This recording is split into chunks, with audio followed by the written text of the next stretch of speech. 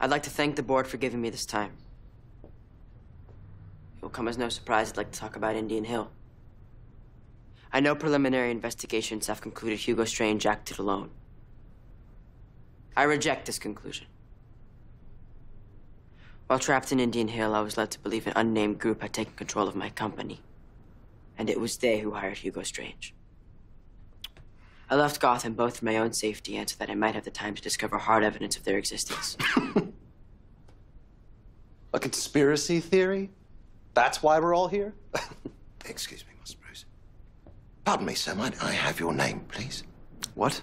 Your name, please, sir. Crowley. Mr. Crowley, did your parents ever teach you any manners? I don't have to listen to this. Oh, but you do, sir. That is precisely the point that I am making. I know how it sounds. But I now have proof they exist.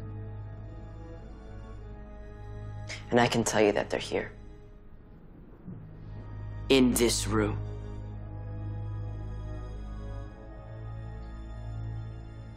I want to talk face to face. You have 24 hours to contact me, or the information that I've gathered will be sent to every newspaper and television station in Gotham. Thank you for your time.